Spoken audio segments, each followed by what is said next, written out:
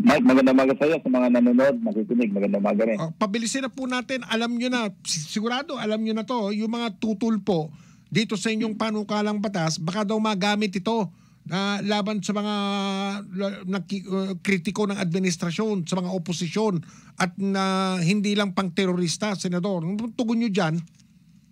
Maliwanag yung uh, nasa definition at saka yung mga safeguards. Uh, yung legitimate dissent, ano, yung freedom of expression, at freedom of assembly, pati yung mga labor strike, hindi kasama kasi ang uh, ang nagbabound dito yung intent and uh, purpose at saka may konteksto ito kung saan pwede lamang makasuhan yung tao.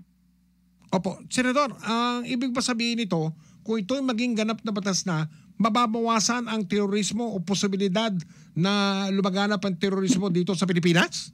Ganun ba yun? Tama yun kasi mag- Oh. magiging proactive na eh. Alam mo Mike, nung naipasa yung uh, 9732, yung Human Security Act, Oo. Ah, 2007 yon. Opo. Isa pa lamang yung conviction na naganap dito. Ito yung ah, I think 2018 ano. At saka isa pa lamang yung terrorist organization na na-proscribe. Ito yung Abu Sayyaf.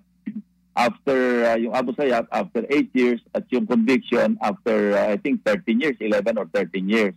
So, ang observation dito ng nakakarami, dead letter law yung ah, RA 9732, yung Ano- Human ano- Security Ano Act. po ibig sabihin ng dead letter O, Senador, sa mga hindi nakakaintindi? parang patay na batas, parang Ah, baliwala. Oo, Parang kasi, wala na, tulog na. Ah, inibita na namin as resource person yung judge na na-convict, ano, si Judge Felix Reyes, Mm. na siya ring presidente ng PJA, yung Philippine Judges Association. Opo. Nahirapan talaga sila sa siya na mag-arrange sa conviction kasi unang-una, kailangan mo nang i-prove yung predicate crime. Kaya nangyari, pinrove niya muna yung Maute, yung Maute group na Opo. nagsagawa ng siege doon sa Marawi. Opo. kailangan i-prove niya muna yung rebellion. So, Mhm. nung na-convict na sa rebellion, saka pa lamang na na-convict doon sa violation ng Human Security Act. So, ang unang ginawa namin, ang feature, bagong feature dito sa amendment o sa repeal, eh, inalis na namin yung mga predicate crimes para diretso na. Pero talagang maliwanag yung definition ng mga acts Opo. na magko-constitute ng ah, ah, terrorism. Opo. Senador, nung dinidinig ito ng inyong komite, dininig, dininig nyo na o dininig nyo ba o kinumbida nyo rin humarap sa inyo itong mga ah, nagpahiwatig ng kanilang pangamba o pagtutol dito sa panukalang batas na ito? Yung particular yung mga halimbawa, halimbawa, halimbawa lang naman yung mga nasa militante, yung mga oposisyon, yung mga kritiko ng administrasyon o ng gobyerno, yung mga ganyang klaseng tao ba o mga grupo, Senador? Tama yun, inibita namin sila, pati yung Commission on Human Rights, Mhm. nagpahayag sila ng posisyon nila Mm. academe, uh, civil uh, civic uh, organizations, ano? Yung mga NGOs, pati yung mga militante inibita namin. Oh. Pero yung may mga militante na hindi nagpadala ng kanilang representante. Ah, kaya hindi sila nakapag-share ng kanilang ah, input nung ah, mahabang pagdinig ito at saka napakahaba rin ng interpelasyon. Mhm. Inabot kami ng ah, tuloy-tuloy ito, walang patid. Araw-araw nga ako nagdi-depend doon sa floor. Mhm. At ah, halos lahat ng abogado doon sa Senado, yun na nag-interpellate.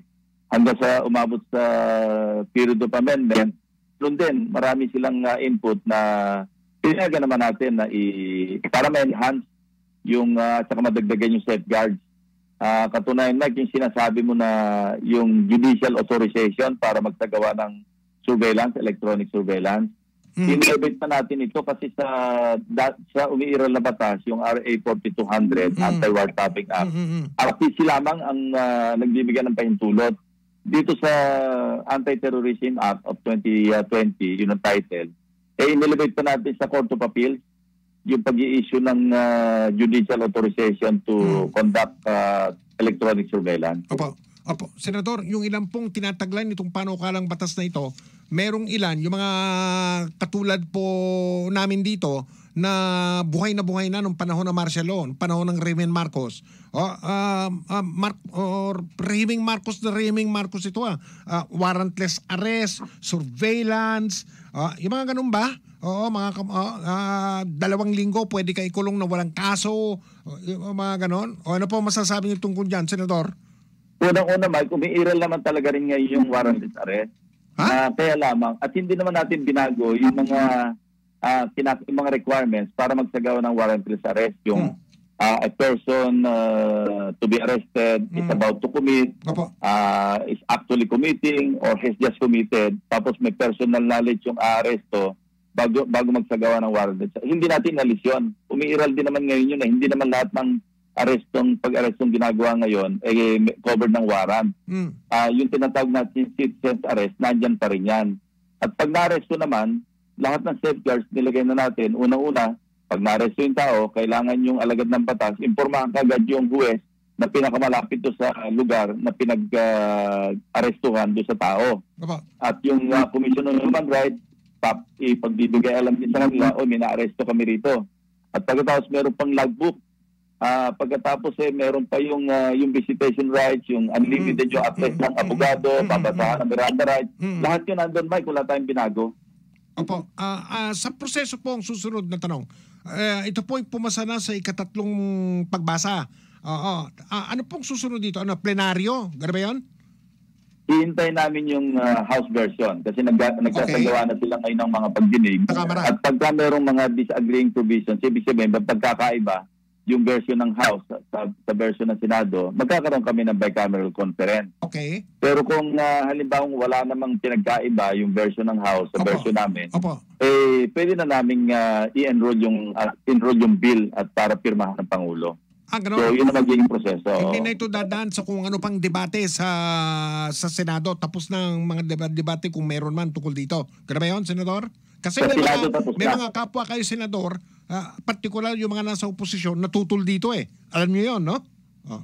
19-2. Dalawa yung ah, bumoto against Oh. si Senator Risa and Opo. Senator Pangilinan. Opo. Yung minority leader bumoto in favor. Opo. Patunayan, napakalaki ng ambag ni Senator ah, Drilon dito yung sa mga amendments, pati yung ah, na-enhance yung ah, yung papel ng ah, law enforcement at saka yung mga safeguards. Mm. Talagang ah, tiningnan niyang ah, mabuti at nag ah, marami akong tinanggap ng mga amendments.